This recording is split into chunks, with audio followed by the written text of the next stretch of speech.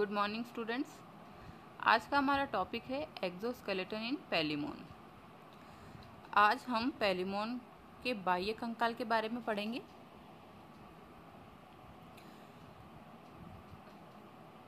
Palaemon के संपूर्ण शरीर और उसके जो अपेंडेजेस होते हैं, उस पर एक कठोर और काइटिनी क्यूटिकल यानी कि एक इसका एक्जोस्केलेटन का आवरण पाया जाता है।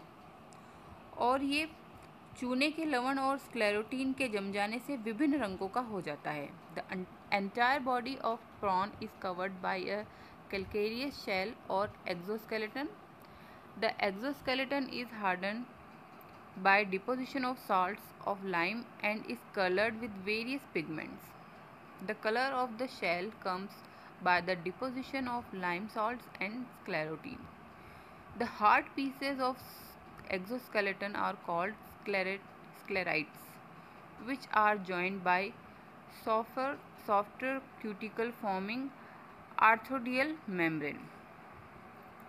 इसका जो एक्जोस्केलेटन है ये बहुत सारी कठोर प्लेटों का बना होता है जिन्हें कि स्क्लेराइट्स कहते हैं आसपास की दो स्क्लेराइट्स एक पतली और आ, कोमल मेम्ब्रेन, जिसे कि आर्थोडियल मेम्ब्रेन कहते हैं, उसके द्वारा ये प्लेटें जुड़ी रहती है, जिसके कारण इसकी गतियाँ आसानी से हो पाती है।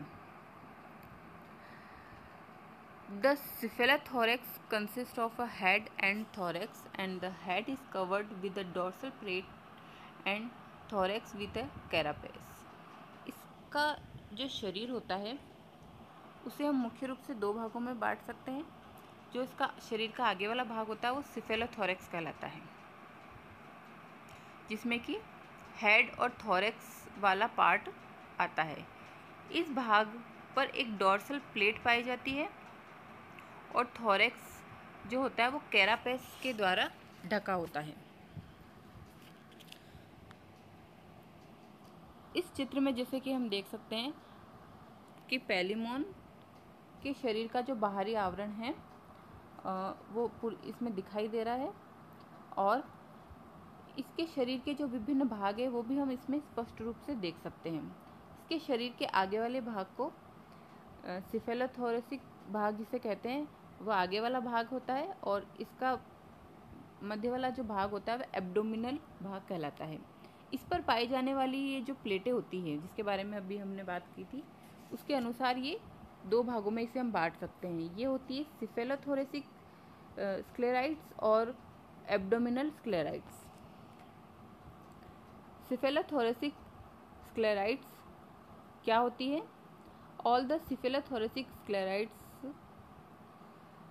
form a single large and continuous dorsal shield which extend over the head as a laterally compress start process called the rostrum अर्थात जो सिफेलाथोरिक्स का डॉर्सल और उसके आसपास पाई जाने वाली जो स्क्लेराइट्स है, वो आपस में जुड़कर एक डॉर्सल शील्ड डॉर्सल शील्ड बनाती है।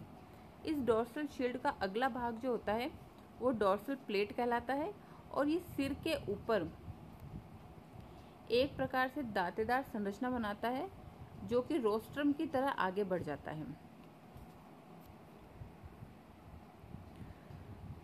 रोस्ट्रम के आधार के दाएँ बाएँ एक एक ऑर्बिटल नोच होती है, जिसमें कि एक सवरंत संधित और गतिशील संयुक्त नेत्र, यानी कि आई, कंपाउंड आई यहाँ पर उपस्थित होता है।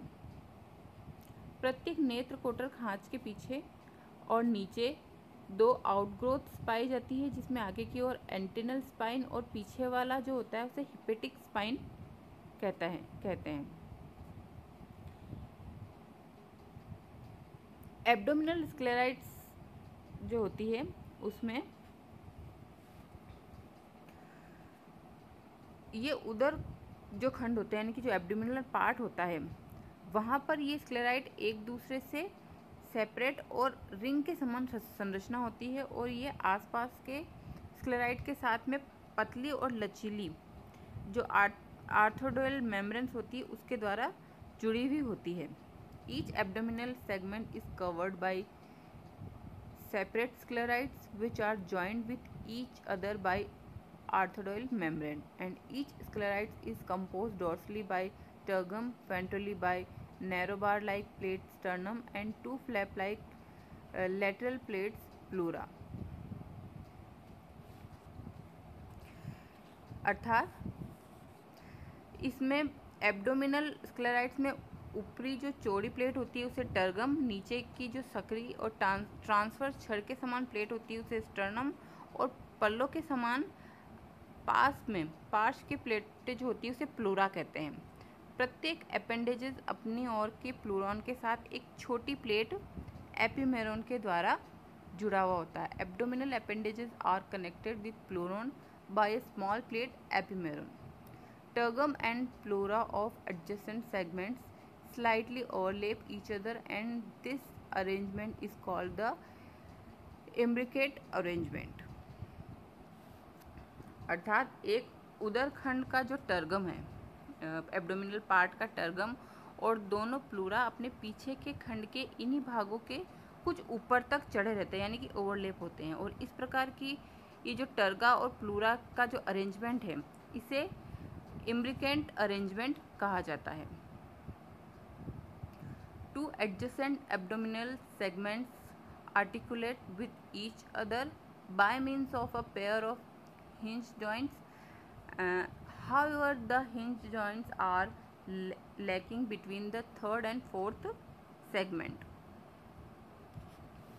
अर्थात आसपास के जो एब्डोमिनल पार्ट के जो पैर होते हैं वो हिंज जॉइंट के द्वारा आपस में जुड़े रहते हैं और इनमें से एक जॉइंट दाई और दूसरा बाई ओर होता है।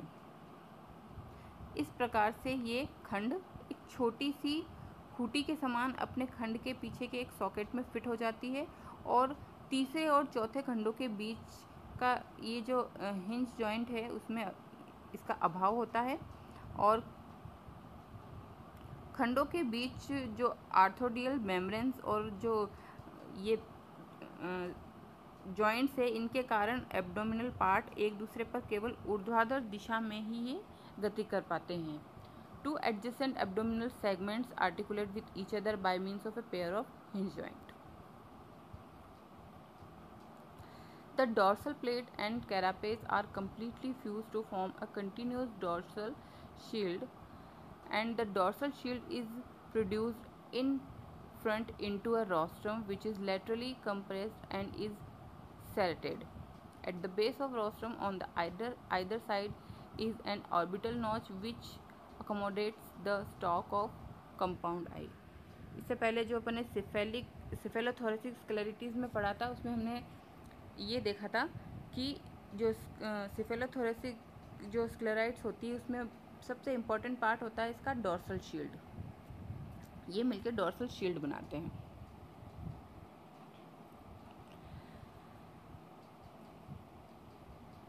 इस प्रकार से हमने देखा कि जो एक्जोस्केलेटन पेलीमोन में जो एक्जोस्केलेटन पाया जाता है, उसके दो मेन भाग है सिफेलोथोरेसिक स्क्लेरेटाइज एंड एब्डोमिनल स्क्लेरेटाइज सिफेलोथोरेसिक स्क्लेरेटाइज में जो डॉर्सल प्लेट है, वो डॉर्सल शील्ड और रोस्ट्रम बनाती है।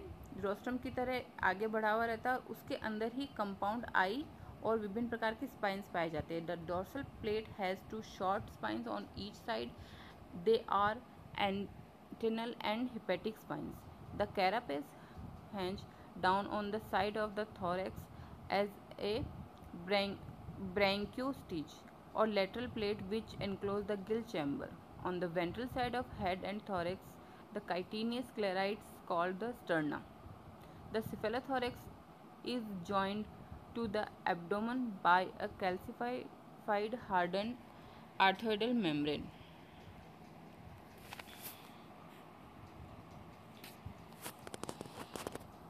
और एब्डोमल एब्डोमन पार्ट में हमने देखा कि in the abdomen each segment has a dorsal tergum or tergite which is broad and curved A narrow ventral sternum is sternite or each side is a pleuron formed from the tergum. On each side or in the thorax and abdomen in the pleuron is joined to appendages by an epimeron which is part of the pleuron.